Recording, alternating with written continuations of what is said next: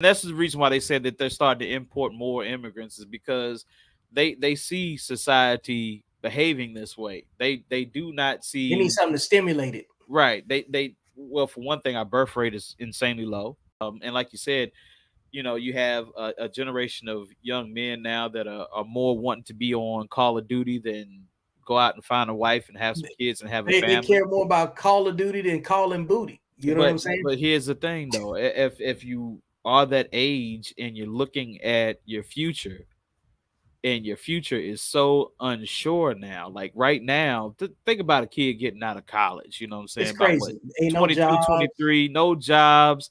Your, your damn housing market is to shit right now. Yeah, you, like think, yeah, you live every, with your parents, and everybody telling you you need to do better, just get a good job and save. Bro,